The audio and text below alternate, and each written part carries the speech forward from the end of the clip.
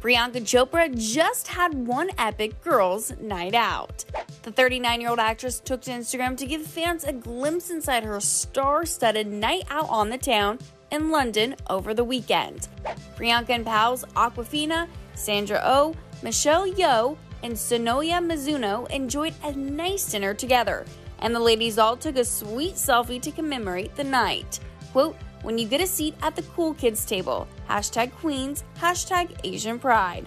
The White Tiger actress wrote alongside the cute selfie. Awkwafina also shared the pics from the group's epic G&O.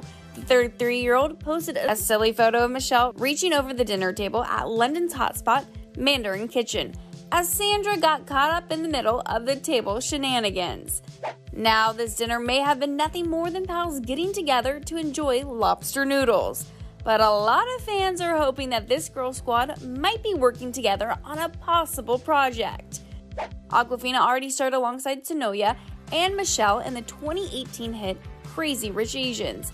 And she also worked with Michelle on the upcoming Marvel flick Shang-Chi and the Legend of the Ten Rings. The comedian has been super outspoken in the past about the importance of AAPI representation in Hollywood.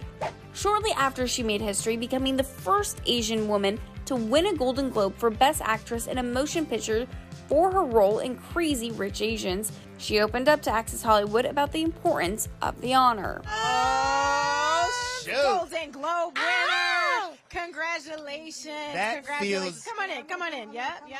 Don't that feel good?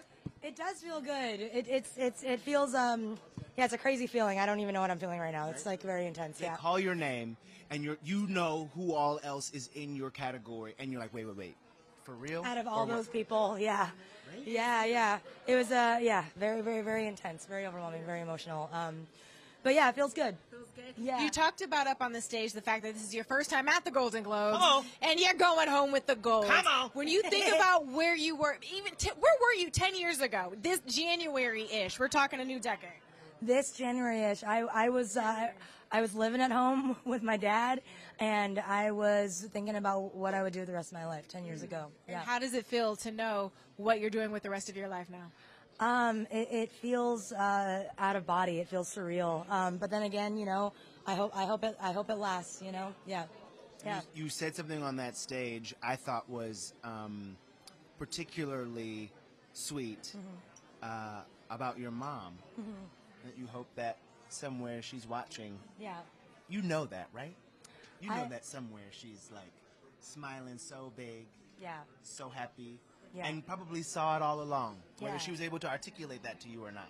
yeah, no, I, I, I, hope so. I, I've been thinking about her a lot. I think that uh, she does have a hand in, in some of some of the stuff that happened in my life. So, yeah, very cool. Yeah.